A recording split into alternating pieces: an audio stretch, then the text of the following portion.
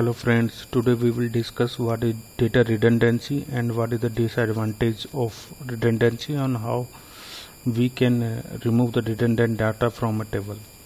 So what is redundancy? Redundancy is the repetition of data. The data redundant da data is a common issue in computer data storage and database systems. The what is the definition of data redundancy? The data redundancy is a database means that some data fields are repeated in the database.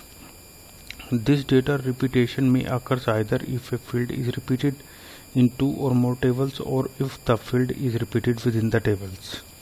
So, what is the disadvantage of data, data redundancy? Uh, if data is redundant in a data table, then it can be it can increase the size of the database unnecessarily and cause data inconsistencies decrease efficiency of the database may cause data corruption. In a table if data is redundant then there are many records can be duplicate. And uh, if we execute the select update uh, query on that table then it will take uh, more time to execute and the database performance will be down. So database redundancy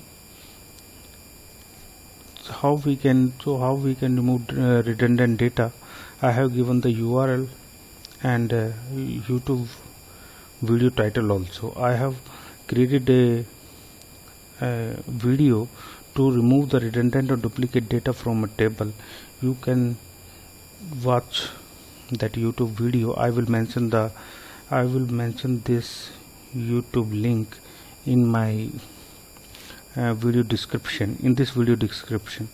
So thank you to watching data redundant data redundancy. I think it is more clear to you. Thank you